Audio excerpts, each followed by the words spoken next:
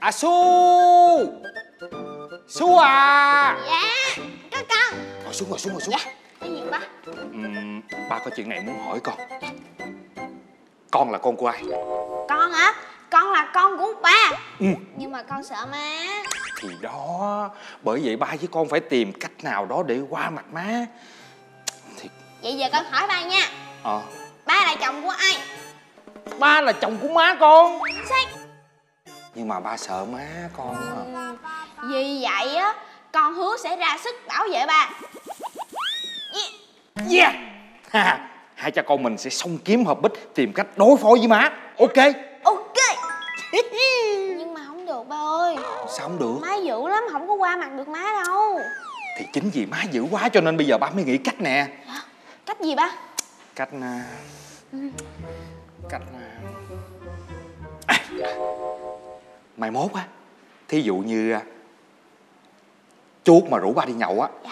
Thì con phải truyền tải lại cho ba bằng một cái ký hiệu hoặc là con, con ghi lại một cách gì đó để cho má con được có biết.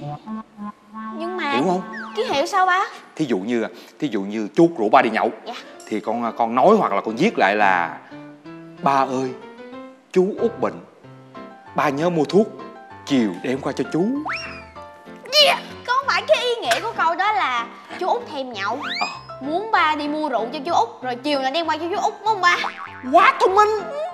Yeah. Ừ được á. Không được. Mà lỡ chú út kêu ba đi mua mồi sao? Mua mồi hả? Mua mồi thì à, à con nói vậy.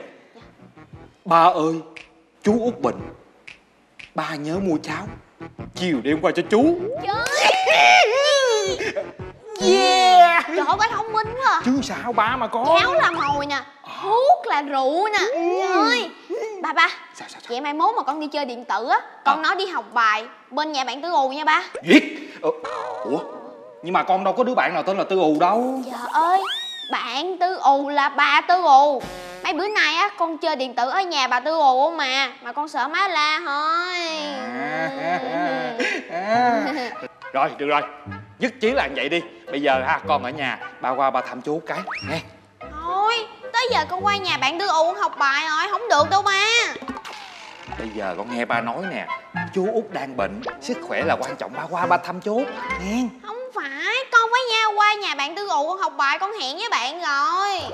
Con thiệt á Con là con của ba mà ba nói con không chịu nghe gì hết. Học thì lúc nào con học không được. Giờ bà ba qua ba thăm chú út xong rồi Về á rồi con đi học Nhưng mà con còn nhỏ ba phải để con đi học chứ. Con á con là con của ba ba nói con không chịu nghe con hư lắm. Ba mét má bây giờ á. Bây giờ mà ba không ngoan Con cũng đi mét má luôn. Khỏi mét má nghe hết rồi. Hai cha con ở nhà hết thì vô góc nhà đứng hết đi. Má khóa cổng rồi vô hỏi tội hai cha con sao. Tại má hết á. Tại con Tại ba mà tại con